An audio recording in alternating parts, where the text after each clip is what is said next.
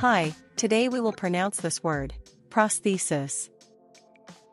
In American English it pronounced prosthesis.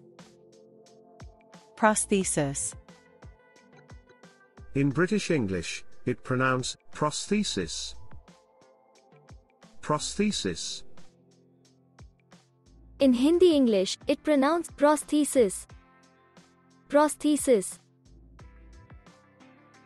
In medicine, a prosthesis, the word from ancient Greek prosthesis, means addition, application, attachment or prosthetic implant is an artificial device that replaces a missing body part, which may be lost through trauma, disease, or a condition present at birth, congenital disorder. Prostheses are intended to restore the normal functions of the missing body part. Did you get it? Let me know in the comment. Prosthesis. We create more videos for how to exactly pronounce medical terms.